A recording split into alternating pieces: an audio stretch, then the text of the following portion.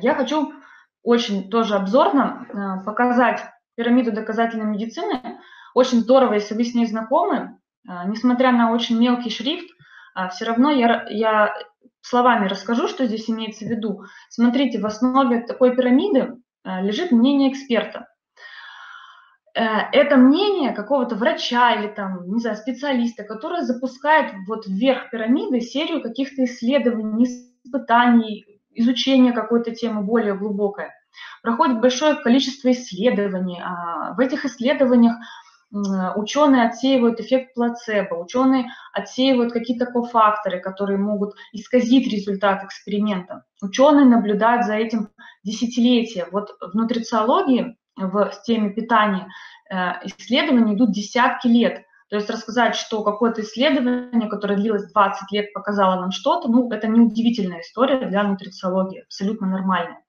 И даже после вот таких качественных исследований все равно проводятся систематические обзоры, то есть ученые анализируют сотни исследований по данному вопросу, и только после этого а, выходит систематический обзор, вот эта вот белая верхушка пирамиды и она становится а, основой рекомендаций по питанию.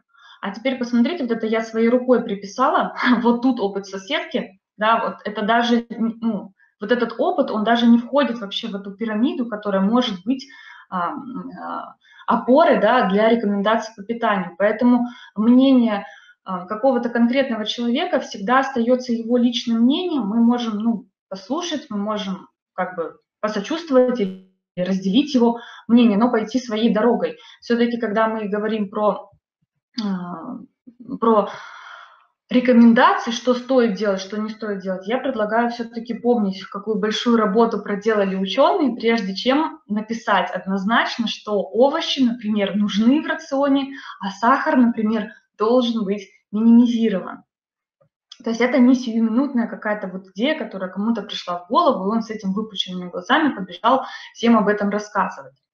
И вот давайте теперь посмотрим, что же все эти ученые за свои там долгие десятилетия исследований наисследовали, и что мы теперь можем благодаря этому узнать о здоровом рационе, как он вообще выглядит. А, вот, я выбрала такую картиночку, очень, на мой взгляд, понятную и простую. Как выглядит тарелка здорового питания по мнению медицинской гарвардской школы? В ней есть а, все пять пищевых групп. Это овощи фрукты, источники белка, сложные углеводы, молочные продукты и опционально рядышком стоят жиры и масла. Никакого там специальных блюд, специальных ингредиентов уникальных, которые могут оздоровить, там нет. А, везде очень кратко описан подход, что, например, в группе а, зерновых или в группе сложных углеводов, мы стараемся давать предпочтение тем, что с шелухой, с кожурой, да, там не максимально очищенные. А, в группе, например, белковых продуктов мы тоже стараемся поддерживать разнообразие и помним, что белок – это не только мясо, это также еще а, рыба, яйца, и это еще а, растительные источники белка, которые не стоит просто так выкидывать из рациона. Это тоже часть здорового сбалансированного питания. Ну и, и большую часть, вот э, половину, да, занимают овощи и фрукты. Это, ну, можно сказать, основа рациона. Каждое блюдо, ну, следует, наверное, строить по такому принципу, если мы хотим получить максимальное количество бонусов для питания, а, для своего здоровья от питания. Э, я хочу отдельно подчеркнуть, вот прям выделила это плашкой зеленой, что очень важно разнообразие внутри каждой группы. То есть мы можем технически сбалансированно питаться, то есть собрать тарелку хм, по всем канонам, но если мы будем крутить одну и ту же тарелку или одно и то же меню неделями напролет, то мы не, не можем уверенно сказать, что такое питание ну, как бы здоровое, то есть это уже с большой натяжечкой. Однообразное питание сильно объединяет микробиом кишечника и не способствует тому, что мы становимся способны усваивать все питательные вещества, которые может дать нам еда. Я покажу сейчас, как выглядит это, этот принцип э, здоровый реализован в разных странах.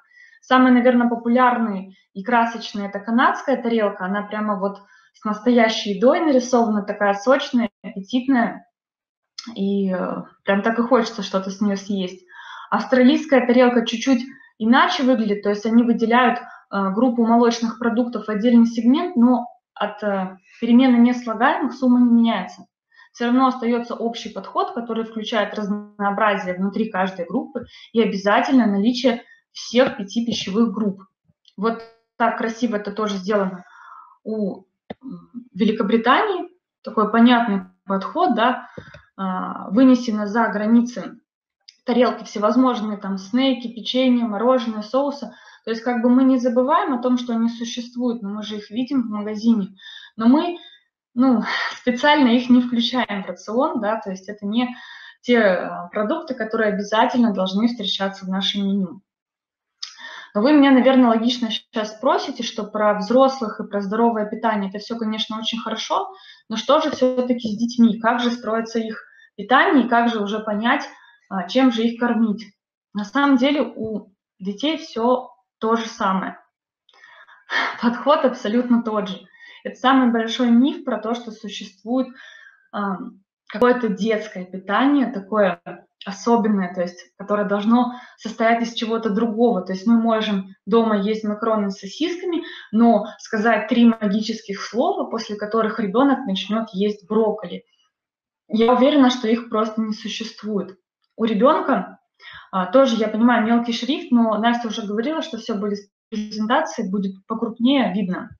А, тарелка сформирована точно так же.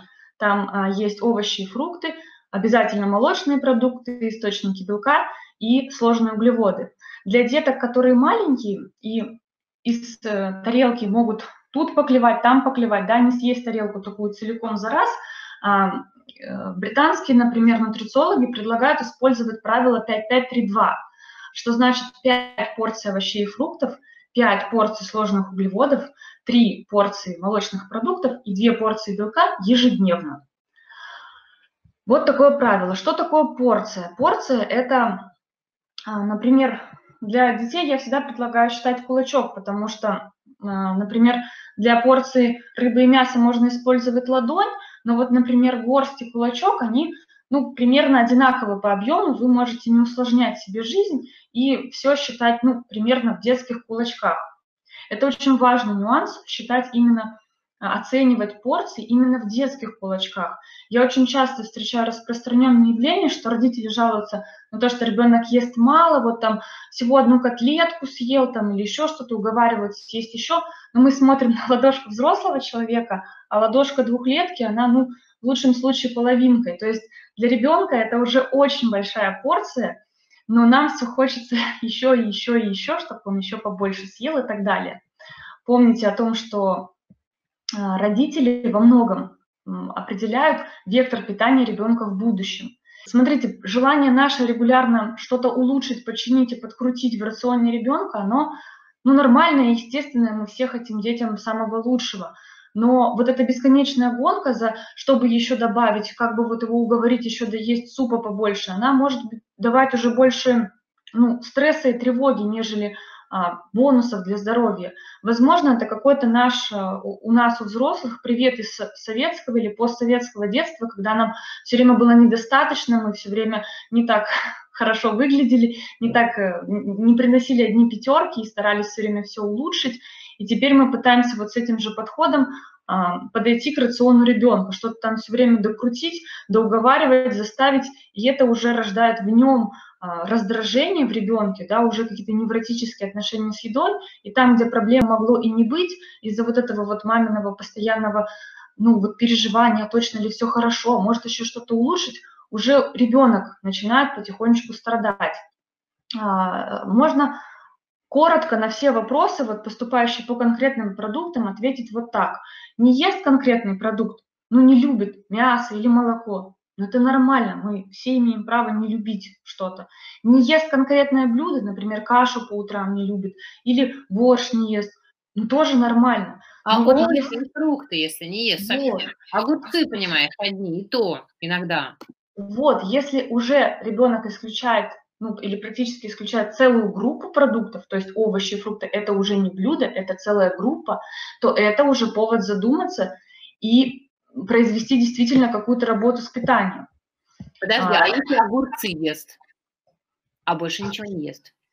Тогда мы возвращаемся к вопросу, э, главные какие вещи? Пять, э, пять, все пять пищевых групп и разнообразие. Формально пять пищевых групп есть, но нет разнообразия. То все равно не можем сказать, что рацион сбалансирован. Но тем самым мы можем зато сказать, с чем нам работать. То есть не в принципе что-то там улучшать абстрактно, а уже работать над разнообразием овощей. Звучит круче. А, в принципе, у меня вдогонку к этой мысли была картинка, да, про маму. Просто у меня запрос по мясу самый распространенный, поэтому я нарисовала таких э, девочек, именно паникующих из-за отказа ребенка от мяса. Ну вот, например, не хочет он есть мясо. Да, ну так бывает. Что мы можем сделать? Ну точно не уговаривать, не паниковать и не заставлять. Мы можем сбалансировать э, рацион другими источниками белка, посмотреть белковую группу, открыть ее полностью, прочитать, что из этого ну, доступно нашей семье, что мы сами любим, что продается в магазине, сбалансировать и спокойно жить дальше. А, можно, конечно, э, продолжать предлагать ребенку ставить на стол, есть самим, да, э, не факт, что ребенок сразу переключится и захочет это съесть, но если он будет видеть, что вы сами регулярно этот продукт едите, если вы его не принуждаете, но а, тем не менее предлагаете в разном виде, напоминайте ему, привет, там, хочешь попробовать там, может быть, кусочек, да, но без давления, то ребенок рано или поздно, возможно, развернется обратно в сторону а, этого продукта. Вообще ученые говорят, что нужно предлагать до 30 раз ребенку один и тот же продукт, прежде чем он а, отнесется к нему благосклонно, скажем так. Но по поводу всех сахарозаменителей, которые ну, заявлены с нулевой калорийностью, я прошу остерегаться их в рационе детей и не, не считать это более здоровой альтернативой, потому что они изобретены относительно недавно, и сейчас идут большие масштабные исследования об их влиянии на здоровье. Например, одно из крупнейших закончится в 2029 году, но уже на сегодняшний год опубликовали промежуточные э, результаты этого исследования, и среди тех, кто регулярно употребляет напитки с сахзанами, не калорийными, вот типа там аспартама, стевии и так далее – а, наблюдаются такие же риски для сердечно-сосудистой системы, как и в той группе, которая употребляет там вот сахаросодержащие напитки типа там Кока-Колы и так далее.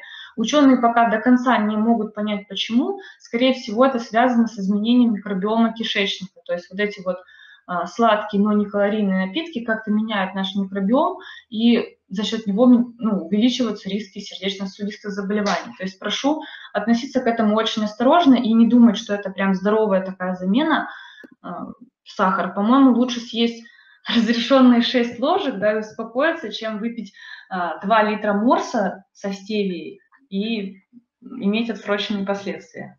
Самое главное, то есть вот это мы час с вами говорили, говорили, оказывается, что все помещалось в одном слайде. Самое главное – это не становиться жертвой маркетинга.